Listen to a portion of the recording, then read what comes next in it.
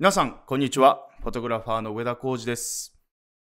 本日は写真家が語る物語を伝える写真の作り方、人物編ということで、フォトグラファーの上田浩二が皆様に様々な、えー、老現像のテクニックをご紹介したいと思います。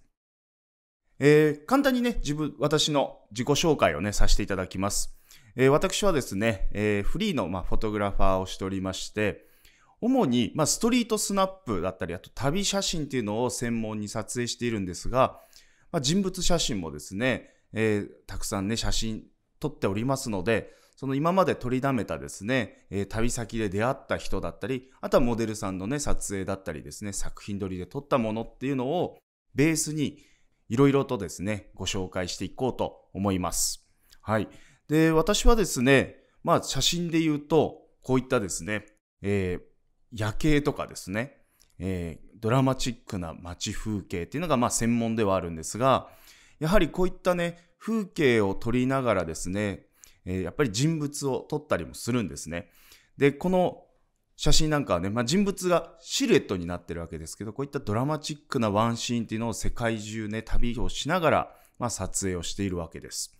はい。で、もちろんね、えー撮ってきた写真っていうのは、ローで撮っておいて、ロー現像をして、え仕上げるっていうのが、まあ、基本的なワークフローなんですね。なので、あの、人物写真であろうと、えー旅写真であろうと、都市風景であろうと、まあ、同じようなね、プロセスを得て、えー作品に仕上げてます。で、私はですね、基本的には、えーまあ、フォトショップのカメラロー、もしくは、ライトルームクラシックっていうのを使って作品をね、仕上げるようにしております。はい。なので、えーもちろん撮影の時にね、すごくこだわって、えー撮ってはいるんですが、やっぱり撮影でどうにもならないシーン、ね、例えば明暗さをバラバラに補正をしたりとかっていうのは、なかなかね、カメラでは難しいので、そういった部分は、仕上がりを、ま、想像しながら、え撮影をね、しているわけですね。はい。なので、こういったシーンも、気度差がね、非常に激しかったんですね、このカンボジアの写真。で、えーまあ、明るいところっていうと飛ばしすぎてしまうと後でロー現像の時にちょっと苦労してしまいますので、まあ、データがない状態になってしまうので、まあ、ハイライトを抑えつつ、えー作品に、えー落とし込んでいくっていうようなね作品を作ってます。はい、でやっぱり旅先でね出会った人物っていうのはモデルさんと違って瞬間的に撮っていきます。はい、なので露出を決めたりとかですねそういったのは一瞬の判断がね求められますしあとなかなかね、ライティングして撮るとかっていうのは難しいので、やっぱり、老現像で追い込んでいくっていうことがね、圧倒的に多いですね。なので私の写真っていうのは基本的に結構ドラマチックな写真が多いので、今回は、えー人物写真を映画のワンシーンのようにね、仕上げるテクニックっていうのもね、えー皆さんにご紹介しようかと思っております。はい。で、まあ、上田浩二流の人物写真っていうのは、今ね、ちょうど作品を見ながらね、少し、えー語りましたが、えーやっぱり背景を大事にするっていうのが僕の、まあ、ポリシーでもあるんですね。もちろんあの、スタジオとかね、そういった環境だと背景というよりは表情だったりポージングだったりするんですけど、やっぱり僕はロケが圧倒的に多いんですね。なので、えー背景の街だったり、背景のね、自然風景だったり、人物プラスアルファ、ね、背景っていうのもすごくね、あの大事にしてます。なので、できるだけ、まあ、自分のテイストっていうのをね、表現するために、まあ、映画のワンシーンのように、えーまあ、演出したりですね、っていうのが結構多いです。なので、えードラマチックな世界を表現するっていうのをちょっと皆さんにね、ご紹介しようかと思っております。はい。で、えーこれはね、えー香港にね、撮影に行った時に撮ったものですけど、やっぱり、えこれね、実はストロボとね、一緒に使って撮ってるんですけど、ぱりモデルさん、ね、友人のね、モデルさんと一緒に行って、えー作品撮りをしてるんですけど、こういったね、あの、街中で撮る場合、結構やっぱり時間も限られてますし、やっぱり明るさのね、調整っていうのはストロボ持っててもなかなか難しいんですが、最終的にはやっぱり、えー、老現像でね、追い込んでいきます。はい。この写真はね、後でまた老現像をね、皆さんにあのお見せできるかと思いますので、ちょっと楽しみにね、しておいてください。はい。で、もう街中で撮るってなると、やっぱり背景と人物をですね、えー調整するのは、まあ、老現像が非常に重要なんですね。やっぱり人物に当たる光と背景に当たる光がですね、やっぱりマッチする場合とマッチしない場合っていうのがあるので、そういった部分も、えー、うまくね、調整をかけてます。はい。で、できるだけナチュラルに見えるように、ストロボを使ったとしてもナチュラルに見えるように調整するっていうのが僕のね、ポリシーなので、なかなかあの、気づかない方もね、おられたりします。なので、ストロボこれ使ってるんですかっていうようなね、ナチュラルなライティングを組むことっていうのも結構ね、あります。はい。なので、あとはね、フィルムライクにちょっと仕上げたりですね。はい。ちょっとノイズ感を乗せてみたりとかですね。で、まあ、気度差の激しいシーンだと僕は中盤デジタルカメラをね、使います。ハッセルブラッドの、そうですね、今だと X1D2 っていうのを使ってますが、まあ、ミラーレスの、えー、16ビットローが撮れる、えー、カメラをね、結構使ってますし、機動力だったり、あとはレンズの多様性っていうのを考えると、僕はニコンの Z7-2 とかですね、Z6-2 っていうカメラで、えー、撮影してます。はい。あちらもね、14ビットローが撮れるので、かなりね、調整ができます。で、旅先なんかだと、えー、そうですね、マイクロフォーサーズとかを持っていくんですが、12ビットローなんですが、まあ、やっぱり16ビットとかと比べるとね、あの、調整できる範囲っていうのは狭いんですが、それに合った露出感だったりっていうのを経験からね、得て、えー、ちゃんと作品にね、落とし込んでいくんですね。なので、まあカメラによってもね、老現像のやっぱり幅っていうのはね、変わってくるかなと思います。はい。なので僕はですね、やっぱり背景を大事にしながらですね、こういった作品をどんどん作り上げてまして、あの、やっぱり背景白飛ぶ嫌だなとかって思う方もね、おられると思うんですが、そういったのも、えー、今のね、ローファイルって結構ね、明かり、光をね、持ってるんですね。なのでそれを引き出してあげるのもね、老現像のいいところかと思いますので、まあいろんなテクニックね、今回はね、皆さんにご紹介しようと思っております。はい。なのでね、女性のポートレートの場合は肌の柔らかさとかですね、綺麗さとかっていうのをま表現する老現像をね、えー、やったりですね、えー、逆光を生かした、えー、作品ですね。やっぱり逆光って結構難しいと思うんですが、これはあの、実はストロボ光でね、作った逆光なんですが、こういった世界をね、表現してみたり。はい。あとは、まあ、ロケでもかなりね、ライティングをしっかり組んで、えー、肌もね、しっかり綺麗に出るようなライティング。で特に白い服とかを着てるとね、やっぱり日中だとコントロールがしにくいんですが、そこも老現像のことを考えながら露出感をね、とってます。はい。なので、本当に僕はですね、この、まあ、老現像を通して自分の世界をね、表現するっていうのは、とってもね、大事にしてます。で、もうデータの取り方もですね、あの、取って出しを重視する場合もあれば、老現像をするっていうことをね、前提に露出を決めてったりね、してますので、その辺もちょっと実際のローのね、ファイルを見ながらですね、解説をね、していこうかと思います。はい。なので本当に様々なね、カメラで撮影するんですが、自分の、えー、まあ、味っていうんですかね、テイストっていうのはね、均一して中盤で撮ろうと、マイクロフォーサーズで撮ろうと、フルサイズで撮ろうとね、大体同じようにロー現像で持っていけるっていうテクニックもあるので、まあ、その辺もね、一緒にご紹介していきます。はい。で、あとはですね、僕はあの、ちょっと前半からね、少しストロボっていう言葉が入ってたと思うんですが、えー、基本的には僕は日中シンクロっていうのを、えー、ベースに撮影をしていきます。要は日中に、ね、明るいのにストロボを被写体に当てて、背景との明るさを調整したりね、非常に重要視してます。はい。もちろん自然光だけで撮る場合も多いんですけど、やっぱり特に人物でライティングができるような環境であれば、基本的にはこういった感じで必ずライティングをね、入れるようにします。まあ、要は、ライティングっていうのは小さな、まあ、太陽のようなものですから、えー、自由にハイライトを調整したりですね、シャドウをコントロールしたりってことがね、まあ、できるので、あの、比較的小さな今ね、ライティングをですね、使ってます。例えば、プロフォトの A10 とかですね、A1 とか。ちょっと大きくなると B10 とかですね、そういったものをちょっと持っていってですね、あの、晴れていようとも、えー、ライティングをして、ちょっと調整をね、かけてます。でやっぱりライティングしたローファイルってすごくやっぱり質が良くて、色もすごく出ますし、調整のしがいがありますし、あと、やっぱり曇りの日とかでもね、メリハリをつけて調整できるっていうのがね、すごいメリットなんですね。なので、ロー現像も非常に重要なポイントなんですが、やっぱりライティングとかをすることによって、よりこのロー現像をするときのデータの豊富さっていうのにね、気づくことっていうのは結構あるんですね。なので、今回結構このストロボを使ったシーンっていうのがね、ありますので、その辺もちょっと注目しながらね、見ていただければと思っております。で、まずね、ローゲンゾのテクニックを一つね、ご紹介する前に、一つだけ、僕はね、あの、ローゲンゾ初心者の方にもね、必ず言うことがあって、やるべきことを明確にして調整をする。はい。これってすごい重要なことで、あの、たくさんパラメータ触ったから賢いわけではなくて、要は、やりたいことを、要は、たくさん触るっていうのもね、別にローなのでいいんですけど、やっぱり自分でやりたいことを明確にしていくと今後の自分のテイストもしやすくなります。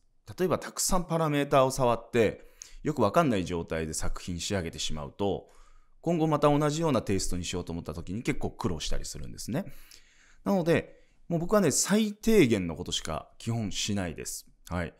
もちろんね、あの、見る人によればですね、あの、たくさんやってるじゃないかとかね、思われるかもしれないんですが、僕はね、本当に結構明確に明るさ、コントラスト、サイド、そしてまあ、ヒューっていうのも触ります。あの、色相って結構個性が出やすいので、色相を変換したりとかですね。そういったのはあるんですが、基本的には本当にカメラでできることプラスアルファ、あとトンカーブとか、そういったものをね、ほとんど触ってます。で、独特の色感を出すには、えー、Photoshop っていうね、ソフトウェアを使って、え、例えば今流行ってるルックアップテーブルとかですね、そういったものを使ったり、レイヤーごとに少し色を変えたりとかっていうのもやったりはするんですけど、まあ基本的にはやるべきことを明確にして自分のテイストに仕上げるようにしてます。はい。なので、たくさん触る必要はなくて、要は明確にピンポイントに何をやっていくかっていうのを今回ね、まあ、ちょっと声に出しながらね、やっていきますので、ちょっとその辺も含めね、見ていただければと思います。ではね、早速、老現像の方ね、やっていきたいと思います。はい。では、じゃまずね、こちらの写真ですね。はい。ちょっと見ていただきたいんですが、こちらは、えっ、ー、と、一眼レフでね、撮影した、まあ、ウェディングの、えー、シーンをね、撮影したものですね。はい。で、こちらにある光源は、えー、実際の光ではなくて、ストロボ光になります。はい。で、このストロボ光っていうのはもちろんもうぶっ飛んでる状態ですので、あの、もう戻すことはね、できないんですが、どっちにしろこれはふんわりね、表現したいので、えー、ここからね、ちょっと調整をかけてます。いきたいと思います。ちょっとね、ここら辺のディテールですね、があんまりやりすぎると、ディテールがなくなってしまうので、ここのディテールはちょっと活かしつつですね、調整をかけていこうと思います。はい。じゃあまずは、えー、全体の明るさなんですが、マイナス0.5ですね。段落とします。はい。ですね。少しちょっと暗めにしました。はい。で、もちろんハイライトに関してはここでね、また調整ができるようになってますので、ちょっと調整をかけていきます。はい。とりあえずちょっとプラス10ぐらいで止めておきます。はい。で、今度はですね、えー、人肌感を少し柔らかく出したいので、ね、このシーンの人肌を少し柔らかい方がいいので、テクスチャーっていうのを、そうですね、マイナス10ぐらいで止めておきましょう。はい。で、同様にですね、この明瞭度っていうのも下げます。で、明瞭度って結構ソフトなイメージになりやすいんですけど、結構ね、これぐらいやってしまう方とか多いんですよね。まあ別に悪いわけではないんですけど、ちょっと嘘っぽくなりやすいので、明瞭度はそうですね。でもちょっと派手にやっといてもいいかな。派手って言っても15とかですかね。はい。これぐらい。そうすると、元の絵からすると、左が元の絵、右が今調整したものですね。はい。では、ここから、ちょっとここまでいったらですねちょ、ちょっと色感を見ていきたいと思います。はい。ホワイトバランスを調整していくんですが、少しちょっと青っぽい光もなんか素敵だなと思い始めたので、そうですね。やりたいことを明確にするっていう意味で、青、少し青っぽい光が入るような作品にね、仕上げていこうと思います。はい。青って言うとね、2500ケルビンあたりがね、想像できるんです。これちょっとやりすぎですよね。なので、そうですね、4300から4500ぐらいですかね。言っても。はい。じゃあ4500にしたいと思います。はい。これで OK。で、えー、っと、ここでね、えー、っと、マゼンタを少し入れてあげると人肌って良くなるんですよ。グリーン入れるとね、少しおかしくなっちゃうんですけど、マゼンタ、ピンク色を少し入れてあげることで血色が良くなるので、まあ、やっぱり8とかですかね。はい。少しちょっと強めにしておきます。はい。で、ここまでは OK ですね。はい。で、えっと、露光量とコンコントラストはね、触ってないです。で、ハイライトをちょっとプラス10にしてます。はい。で、テクスチャーをマイナス10の明瞭度をマイナス15に設定しました。はい。そして、えっ、ー、と、トンカーブはね、僕は最後に結構触る派なので、はい。そしたらまたカラーグレーディングのところ、結構ね、僕これ使うんですよね。はい。シャドウ側を、シャドウ側ってね、まあ、暗いところですね。わ、まあ、からない方はですね、なんか存在しない色とかで、こう、派手に動かしてみると、どこが変化するかっていうのがね、わかりやすいかと思います。はい。で、ちょっと青っぽいイメージにしたので、背景も少し青っぽくしようかなと思うので、元の色もね、いいんですけど、少し僕はシアンをも入れようかなと思ってます。このラインですね。はい。強すぎるとね、ちょっと嘘っぽいので、軽く入れさせてもらいます。はい。いいですね。これぐらいですかね。はい。で、中間は触らず、ハイライト側、いきます。はい。ハイライトは今ピンクになるとこがハイライトですね。こうやってね、ちょっと存在しない色でね、シミュレーションしてみると分かりやすいかなと思います。はい。で、ただこれ、ホワイトバランスでね、青い光をシミュレーションしてるので、あんまりこの暖色やっちゃうと、やった意味がね、なくなってしまうので、この辺で少しハイライトの青感をね、調整していこうかと思います。こんなもんかな。はいあんまり触らなかったですけど。はい、これぐらい。でこれでね、えー、大まかな設定っていうのができました。はい。あとはトーンカーブを使って全体をふんわり感をね、少し強調したいので、真ん中を徐々に持ち上げて、ふんわり感をね、えー、アップさせました。はい。これによって、ね、左の写真が右の写真のように変化したわけですね。はい。こうやってやっていくとね、あの、すごくわかりやすいかと思うんですが、要は自分がやりたい色感だったりとかね、そういったものを表現していく。でもう少しサイドが欲しい、鮮やかさが欲しいなって思った方は、自然のサイドをいじるのか、えー、このね、結構ビビットに出るサイドをね、いじるのか、バイブラントって言いますけど、ま人物ではね、自然なサイドを僕はいじることが多いですね。こういった感じ。はい。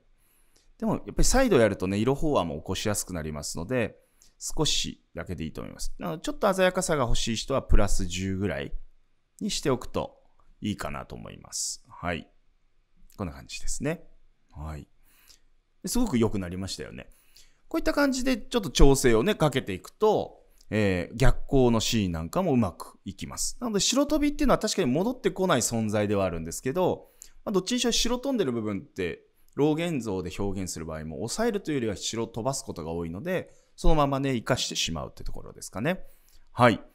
では今度は、街中でね、出会った、こちらの紳士。これキューバでね、撮影した一枚でございます。はい。新聞をね、売ってるおじさんなんですけど、なぜかね、このオールドハバナっていうところにずっと滞在してたんですけど、何度もね、このおじちゃんに会って、まあ、その都度なんか新聞買ってたんですけど、そしたら仲良くなってね、取らせてくれるんですね。なので、今回ね、こう、新聞持ってっつってね、僕はスペイン語喋れないですけど、持ってってやったら、こうか、みたいな感じでやってくれたので、その時撮った一枚です。はい。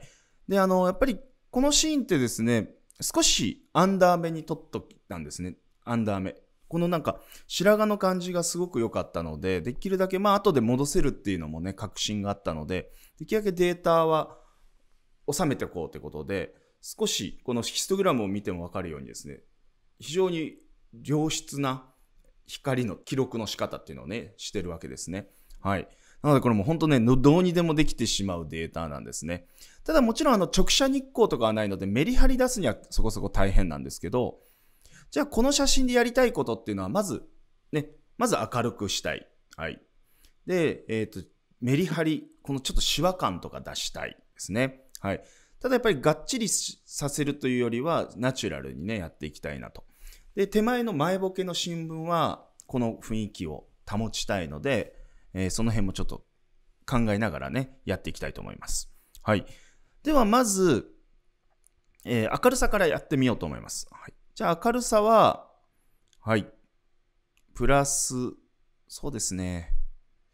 背景のことも考えれば、プラス0.85ぐらいでまず1回調整をね、します。はい。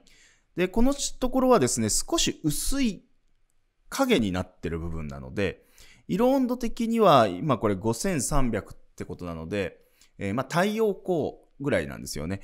なので少し色温度上げてあげるといいかなと。はい。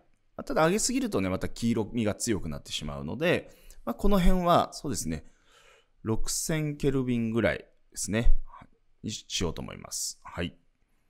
で、えっと、色かぶり補正はこの画面で見る限り大丈夫そうなので、このまま続けます。はい。じゃあ次に、コントラストとかハイライトとかですね、シャドウとかあるんですが、えー、ハイライトっていうのは正直、今上げたぐらいですから落とす必要もないんですが、例えば、ハイライトって抑えるっていうのもあれば、ハイライトだけを上げるっていうのにも使えたりはするので、例えばこの白髪の部分に艶やかさを持たせるんであれば、少し明るい方が白って出やすいので、逆にハイライトを少し伸ばしてあげてもいいですね。伸ばすっていうのはこれヒストグラム見ると、ハイライト側にぐーっといきますよね。なので、例えば、プラス60ぐらいにしておきましょう。というのも後でですね、もう少しトーンカーブで上げていくので、それの余裕もね、持たせておこうかなと思います。はい。で、えっ、ー、と、ちょっと彫りが深い方なので、日陰のね、状態なんですけど、少し目の下がね、暗くなってるかなっていうのがあるので、ここはシャドウで少し明るくしようかなと思います。はい。ただやっぱり明るくしすぎるとちょっとナチュラルになりすぎるので、プラス30ぐらいにしようかなと思います。はい。なので、この写真で言うと、明るさに関わるパラメータ、ね、露光量、ハイライト、シャドウっていうところをちょっと触りました。はい。で、この白レベルとか黒レベルっていうのは、要はレベル値なので、要はまあ簡単に言うと、ここを狭めていくと白飛びするタイミングっていうかね、そこが早まったりするんですね。例えばこれ、日の当たってないシーンなので、白飛びするところを、例えば、ね、早めに持っていきたいんであれば、白レベルっていうのを上げていけばですね、簡単に白飛ばすこともできるんですね。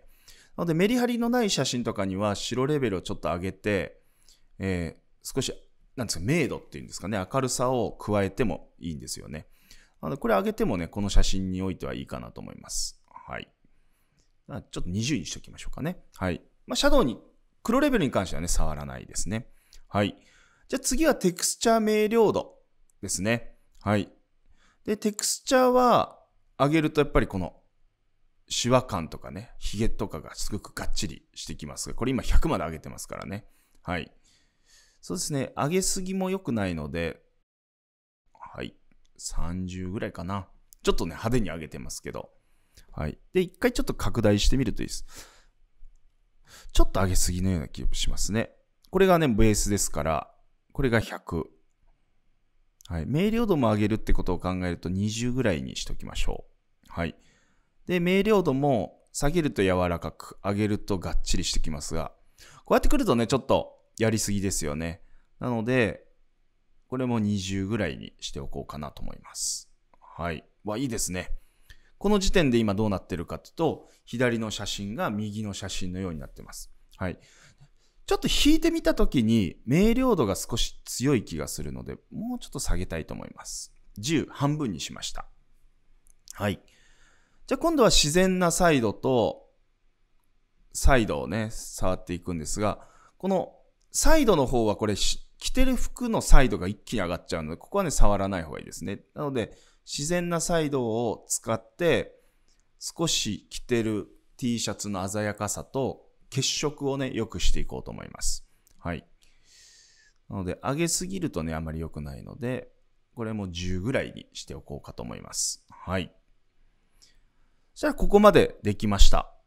そしたら、最後はですね、えー、トーンカーブをちょっと調整したいと思います。まず、ハイライトに1ポイント、中間に1ポイント、シャドウ部にもう1ポイント。打ちます。はい。で、シャドウをまず締め、締めると暗くして、立体感を出し、えー、ハイライトはもう少しだけ開けて少し艶やかさを出します。で、中間も少し明るく上げときましょう。はい。こんな感じで、おじさんをね、仕上げてみます。はい。ね、旅先のワンシーンっていうのはね、やっぱりその、一回パッと撮るんですけど、ローで撮っておけばね、こういった風に調整が効きますので、ぜひね、旅先で出会った人を撮るとかっていうのをやるときも、えー、老現像のことを考えながらね、撮影されるといいと思います。でちなみに、えっ、ー、と、あのまあ、トンカーブ難しそうだなと思う方はですね、あの、ちょっと触ってみてですね、あの、ゆっくり学んでいっていただくといいんじゃないかなと思います。はい。シャドウ触るとどうなるか、中間触るとどうなるか、ハイライト触るとどうなるか。で、カーブが緩やかな方がトーンはなだらかになるわけですから、ね、派手な調整っていうのはあまりしない方がいいかなと思います。はい。といった形で、え、こちらの、え、キューバで出会った紳士のね、え、写真は、え補正前、補正後でここまでね、変化させることができました。はい。では、今度は、え女性ポートレートいきましょうかね。はい。はい、こちら、ストロボで撮影した日中シンクロの作例になります。はい。ちょっとね、えー、花壇みたいなところに座ってもらって、少しラフな格好でね、ポージングをしてもらって、ストロボ1頭当てて、えー、撮影をしてます。で、背景は、えー、まあ、映らないようにですね、あの、シルエットはわかるように、これちょうど月島のね、えー、東京のね、月島の高層ビル群というか、まあ、タワーマンション群をちょっと背景にしてるんですけど、そういった写真になります。はい。で、この写真のちょっと難しいところは、やっぱりハイライトをどれだけうまく出すかなんですね。はい。ちょっと今、ハイライトどうなってるか、白飛び警告見てみますが、これ、中盤で撮ってるので、白飛んでいないんですね。はい。もう、ここら辺なんか結構ギリだとは思うんですけど、そしたらですね、えっ、と、まずは、露光量とかね、えー、できるだけちょっと透明感を出したいなっていうのがあって、ギリギリ攻めようと思ってます。はい。そして、えー、っと、あとはコントラストでメリハリをね、ちょっとつけたいなというところ。はい。ただこの髪の質感はちょっとのけときたいなというのはあります。はい。で、あと肌の質感。ね。ここももう少し綺麗に出そうかなというふうに考えてます。はい。まずそんなに難しい、あの、調整ではなさそうですね。じゃあせっかくなので、プロファイルで人物っていうのを選んでみましょうか。はい。ボン。はい。人物にすると少しちょっと鮮やかさが抜けたような感じはしますが、まあ、これをちょっとベースにやっていこうと思います。はい。じゃあまずは、ちょっと透明感っていうところなので、少し、青を強くしてもいいかなと思ってます。はい、青ね。なので、まあ、言ってもただ5000ケルビンぐらいですかね。はい。とりあえずこの5000ケルビンにしてみようと思います。はい。で、明るさ、透明感を出すので、これもうギリギリまで攻めたいですね。露光量は。はい。ちょとりあえずこれぐらい、ゼロのまんまで良さそうですね。で、コントラストは少し触りたいので、こう調整をね、していきます。はい。こんな感じですね。プラス2とか。ちょっと微妙なところですけど。今、現時点ではそんなに大きな差はなくて、えっ、ー、と、少し青を強くしたので、肌が少し白っぽく今なってるかと思います。はい。ちょっと、少し顔色悪くなったなと思われるとあれなので、後でサイドでね、少し調整はかけていきます。はい。で、えっ、ー、と、ハイライト、この服のディテールを少し出しときたいので、もちろん明るくてもいいんですけど、やっぱり少しね、落としといた方がいいだろうという判断なので、こちらはハイライトを少し落としたいと思います。はい。マイナス45。ここのディテールがね、出てきましたよね。はい。見るちょっと環境によってね、違うかとは思うんですが、そうです。マイナス50でも構わなさそうですね。はい。服の繊維感とか出た方がいいかなと思います。はい。で、えっと、シャドウに関しては、さっきね、ちょっとコントラスト上げて、髪どうなったかなっていうのもあるんですが、今のところ全然大丈夫そうなので、ここは触らなくて良さそうですね。はい。じゃあ今度は、えー、こちら、テクスチャーを下げていきます。はい。少し肌をスムーズに見せようかなと思います。まあ、十分綺麗なんですけどね。はい、マイナス10。で、明瞭度。これもマイナス10ぐらいにしときましょうかね。はい。これで、肌感もね、良くなったかなと思います。はい。こんな感じですね。少しスムーズになったかなと思います。はい、と言っても、シャープさっていうのはね、失われてないと思うんですね。はい。これで OK。そしたらですね、今度は自然なサイドを使って、これですね、少し肌の色感を戻したいと思います。はい。プラス15とかですかね。はい。これで今、比較してみます。いいですね。バッチリバッチリ。で、えっと、サイドの方は触らないです。はい。で、トーンカーブはちょっと最後なので、じゃあ今度はですね、ここで、まあ、独特の色感を少し出したいと思うので、空の色、ここですね。はい。別に悪い色では全然ないんですが、少し、あの、色相を変えようかなと思います。はい。で、これ、ブルーの色素、HSL っていう項目を触っていきます。はい。多分ね、ブルーで変わると思うんです。これですね。ちょっと嘘っぽいですけど、今、紫に今できましたよね。はい。要は色相をこう、変えることができるので、今の青より少しアクアっていう色が好きなんですね、僕。はい。これぐらいですかね。はい。で、影響するのは、ね、この青の部分だけですので、問題ないですよね。なので、人肌とかもね、影響はないです。なので、ここのアクアに少しだけ、やりすぎるとね、嘘っぽくなるので、少し色相を変えます。マイナス25にしましょうかね、じゃあ。はい。で、えっと、人肌とかですね、そういったものも調整したいっていう方はですね、人肌を少し赤みを戻したいっていうのであれば、イエローのところ。ただイエローってね、これ下のところも結構動いちゃうので、ここの少し目立たないように少しだけ黄色側に振ってもいいかなと。はい。こんな感じですかね。で、アクアっていうのもね、こう動かすと少し変わります。はい。少しアクア側にね、振っときましょう。はい。これで今見てみると、こういった感じで空の色がね、大きく変化したかなというのがわかります。はい。こんな感じ。だいぶね、雰囲気変わりましたよね。やっぱり同じトーンなんですけど、やっぱり色感がちょっと変わるだけで、全然この肌の透明感とかもね、変化してきます。はい。じゃあ最後に、えー、今度は、僕はトーンカーブ派なので、トーンカーブで、少し明るく、ギリギリをね、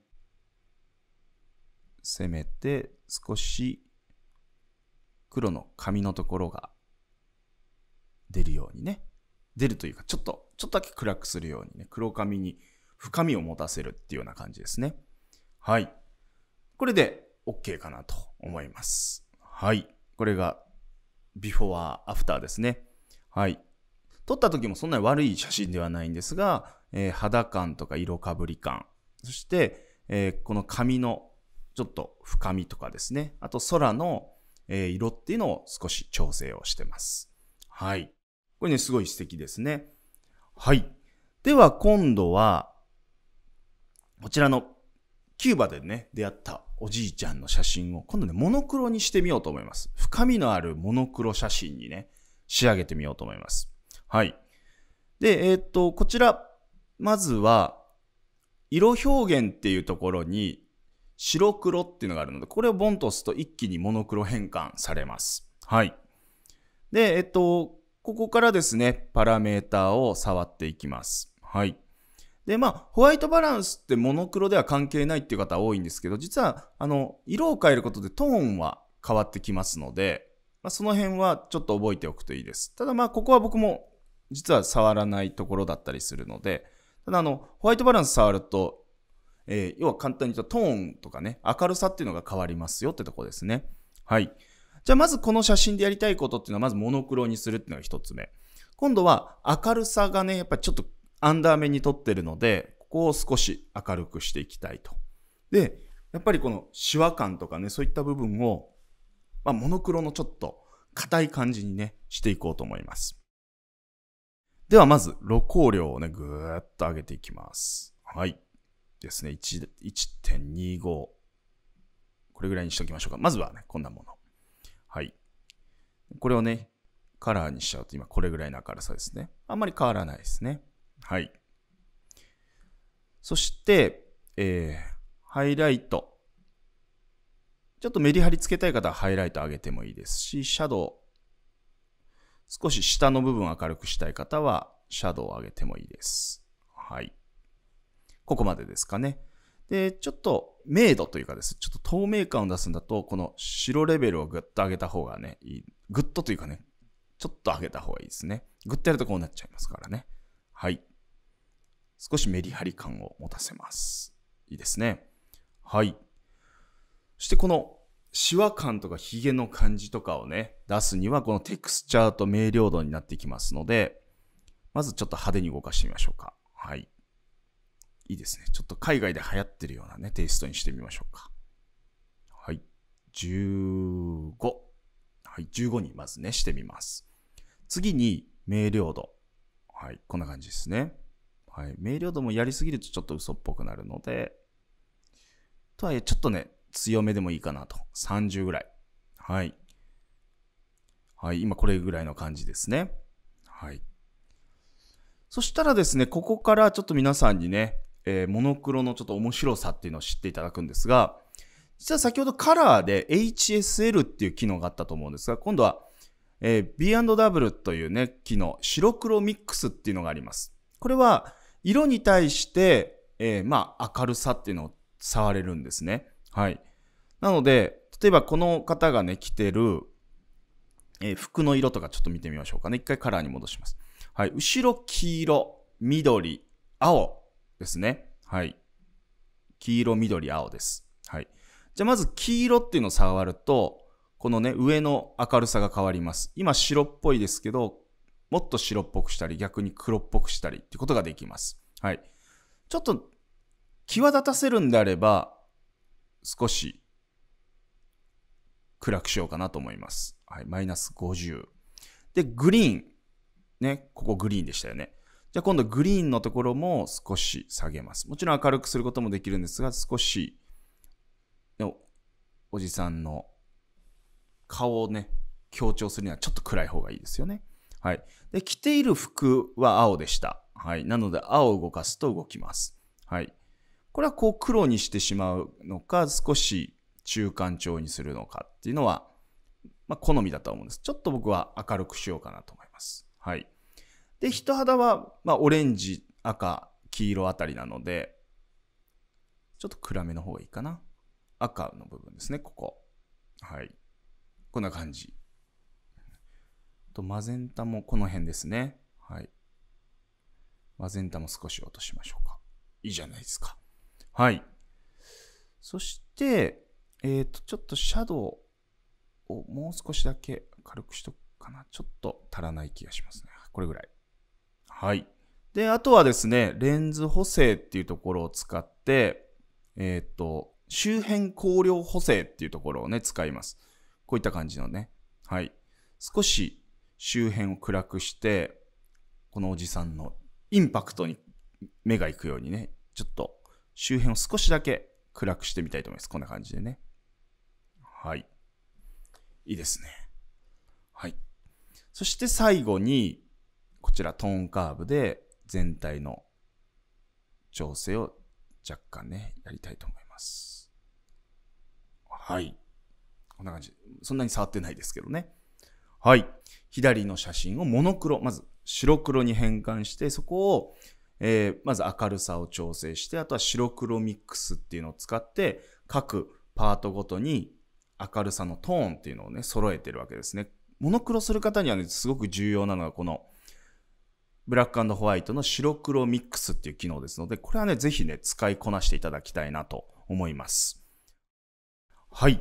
では、今度は、こちらの、これはね、背景を生かしたというよりは、壁の前で撮ったストロボの一発の直当てのね、えー写真ですが、えーメリハリをつける女性ポートレートの写真をちょっとやってみようと思います。はい。そもそももうライティング自体がハードライトですからメリハリはあるんですけど、ここをですね、ちょっと調整していこうと思います。はい。やりたいことは影をもっと暗くしたい。で、肌の質感を、ね、もう少しクリアにしていこうかと思います。はい。それぐらいでいいかな。あとはちょっとカラフルなね、服を着てるので、そこら辺の調整もしていこうと思います。はい。じゃあまずは、えー、っと、じゃあプロファイルは Adobe Color でそのまんまいこうかな。はい。で、えー、っと、色温度に関しては、ほぼこのままで良さそうですね。はい。5350ケルビンでそのままいきます。はい。じゃあまずはメリハリをつけるので、えっ、と、ちょっとね、明るくします、まず。はい。これぐらい。そして、コントラスト。これですね。コントラストは、まあ、このトーンカーブでやってもいいんですけど、少しちょっと高めにしときましょうかね。はい。そして、ハイライトは抑えちゃいけないですね。プラス1ぐらいにしときましょう。はい。で、シャドウは、これ大事なところですね。明るくする必要は全くないので、黒に落としちゃいます。はい。これで30、マイナス30。はい。いいですね。ここまでできました。そして、えっ、ー、と、今度は、テクスチャーに関しては、えー、プラスにはせずにマイナス側でちょっと人肌感を柔らかくしていきます。そして明瞭度は強くはしないですね。はい。ちょっとマイナス。あんまりやるとね、柔らかくなりすぎちゃうの、マイナス5ぐらいにしておきましょう。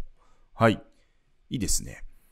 そしたら、ここまで来たら、あとは、シンプルにトーンカーブでちょっと調整をかけていきましょう。もうちょっとハイライトを伸ばしつつ、シャドウをぐっと締めていきます。はい、いいですね。はい。このね、人肌感もまだありますね。はい。ちょっとだけ人肌感戻していこうかな。今、最初プラス1にしてたんですけど、そこからトンカーブ触ったので少し飛んでしまったので、マイナス7とかにしときましょう。はい、いいですね。そしたらあとは、えー、この暗くなってるところにね、実際にちょっと青っぽくなってるので、ここに対して、えー、カラーグレーディング使ってですね、えー、シャドウ選択して、少し青、青というかまあ、シアンを入れていこうと思います。あ、いいですね。これぐらい。はい。まあ、これ好みですけどね。こんな感じでできました。ちょっと比べてみましょう。はい。メリハリがね、ついて、よりライティングのね、この輝きっていうのがね、綺麗に出てますし、えー、まあ、ライティング輝きというか、ライティングのメリハリですね、を調整しました。はい。これね、見てくださいね。ちょっと人工的な感じの質感ですけどね。これはこれでいいんじゃないかなと。はい。で、紙の質感っていうのはこっち側はディテールがね、あったんですけど、こっち側ちょっと潰してるような感じですね。まあ、あえてこう潰すことで人工感っていうのがね、表現できるかなと思います。はい。そうですね。あと、プラス、ごめんなさい。最後に、こちら。ね、最後、レンズ補正の周辺光量をあえてちょっと落としてあげるといいかなと。これ白のね、シンプルな壁の背景なので、こういったビネットっていうのがね、入ることで、より被写体がね、際立つようになります。はい。これで、ちょっとやりたいことっていうのがね、できたかなというふうに思います。はい。では、最後に、えー、もう一個だけ見ときましょうか。はい。で、これあの、自己紹介のね、ところでもご紹介した一枚ですが、これはあの、自然光、背景は自然光で、モデルさんに当たってるのは実はこれ、えっ、ー、と、ライティングがね、1個入ってます。はい。で、ちょうどね、撮影してたら、後ろから鳩がね、ブワッと飛んできたね、ドラマチックな印象のワンシーンなんですね。はい。なので、こちらのちょっと写真を最後ね、調整してみようと思います。はい。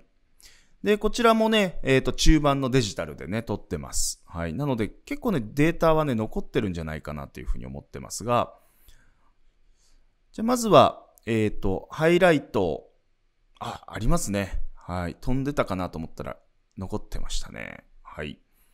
じゃあ、ここでやりたいことっていうのをまず明確にしておきましょうか。まず、ここのハイライトの部分をちゃんと、え見えるようにね、したい。で、えっ、ー、と、肌のところの顔に当たってる光にもうちょっとメリハリをつけたい。ですね。あとはちょっとシネマティックにしたいので、背景というか、ちょっとね、低サイドにしていこうかなと思います。はい。じゃあ、そこでやっていこうと思います。じゃあ、まず一つ目。ね、ハイライトっていうのをまず、マイナス100まで持っていきます。ちょっと露光量もね、少し下げたいと思います。マイナス0.3。はい。で、顔暗くなりましたけど、この後戻していくのでいいかなと。はい。で、ホワイトバランスに関しては、少し暖色が強くなる方が印象的かなと思うので、そうですね。5600ケルビンぐらいにしましょうか。はい。これで OK。そしたらですね、今度はシャドウを少し上げていこうと思います。シャドウですね。はい。ただ上げすぎる必要はないので、メリハリを意識しつつ、シャドウを上げます。はい。ここまで OK ですね。はい。そしたらです、今度は明瞭度上げて、テクスチャーと明瞭度ですね。はい。これぐらいにしときましょうかね。はい。あんまりね、拡大して明瞭度とかテクスチャーやってもですね、あの、わかりにくいので少し引きで見といた方がね、いいですね。はい。これがテクスチャーです。で、テクスチャーって上げすぎるとわかるように背景のボケ感にも影響しちゃうんですね、これ。なので、あんまり上げる必要はないんですね。なので、本当にちょっと上げるぐらいですね。はい。そして明瞭度ももちろんボケ感に影響しますので、これも少しですね。はい。10ぐらいですかね。はい。バッチリ。じゃあ、ここまでできました。じゃあ、今度ね、ちょっと低サイド。低サイドっていうのは、要はこのサイドを落とす方法ですね。サイドを上げると鮮やかになるんですが、低サイドにすることで結構ね、シネマティックな印象になりやすいですね。はい。やりすぎるともちろんこれモノクロになってしまうのでね、あまり良くないですが、低サイドにちょっと仕上げていきたいと思います。はい。マイナス30。少しカラー感は感じるんですが、少し落ち着いたね、印象になるかと思います。はい。ここまでいい感じですね。はい。じゃあ、ここでちょっと全体的なこの色をシフトさせる前に、少しこのトーンカーブで微調整をね、しときたいと思います。はい。明明暗をね、少しいじっときたいなと。はい、こんな感じですかね。いいですね。少し顔のところを明るくしたいので、シャドウを少しだけ上げさせてもらいますね。はい。いいですね。あ、バッチリバッチリ。はい、少しというか、プラス53も上げましたけど、かなりいい感じですね。はい。素晴らしい。そして、えっ、ー、と、ここからですね、えっ、ー、と、今度は HSL を使って、これ後ろのこの緑の質感を少し変えようかなと思います。なので、グリーンっていうのをね、触れば OK ですね。はい。ここでね、この新緑の緑っぽい感じは少し僕の香港のイメージと合わないので、少しですね、黄色みのある感じに少し落としときたいなというので、グリーンをマイナス12にしました。はい。あとは調整する必要はないので、あとはこのカラーグレーディング使って、シャドウ中間の調整をしていこうと思います。じゃあまずはシャドウから少しシアンをね、入れていきます。はい。ただちょっと顔色が悪くならないように調整をしておきます。はい。で、中間も同じように、こんな感じですね。はい。わかんなくなれば、こういう派手な色にしてみると、どこが変化するかっていうのがわかりやすいと思います。はい。いいですね。映画っぽくなってきました。で、ハイライトに関しては僕はね、ちょっと暖色入れたいなと。はい、ハイライトっていうのはこの場所ですね。はい、ここにオレンジとかちょっと入れてあげると、シネマティックになるんじゃないかなと。こんな感じですね。ちょっと嘘っぽくならないように調整をかけていきます。はい。いいですね。バッチリ。はい。そしてちょっとね、顔色が少し悪いので、今低サイドにしたんですけど、少しだけサイドを戻させてもらいます。はい。いいですね。はい。